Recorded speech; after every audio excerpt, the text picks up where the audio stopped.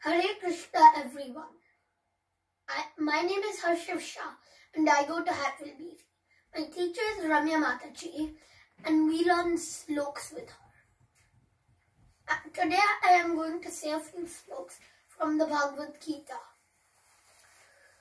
15.1 Shri Bhagavan Vacha Urdamulamadashakham Ashwattham Prahuravyayam Yoga Parnani Yastam Veda The Supreme Divine Personality once said, They speak of an eternal Ashwat tree with roots above and branches below. Its leaves are the Vedic hymns, and one who knows the secret of this tree is the knower of the Vedas.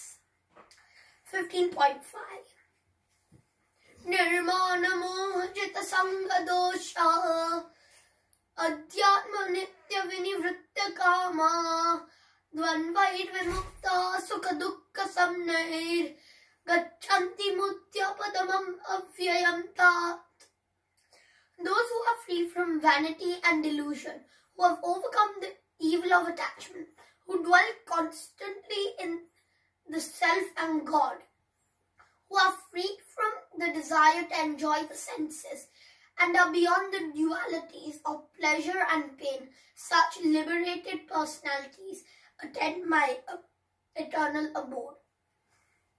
10.10 Tesham satata yuktanam bhajantam pritipurvakam dadami buddhi yogam tam.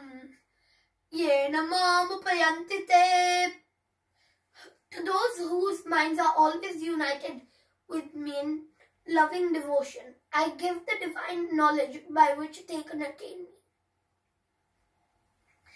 9.2 Rajavidya Rajaguhyam Pavitram Idamuttamam Pratyakshavagam Dharmyam Sukham Kartum Avyayam This knowledge is the king of science and the most profound of all secrets. It purifies those who hear it. It is directly reasonable in accordance with Dharma, easy to practice, and everlasting in effect. Hare Krishna, everybody.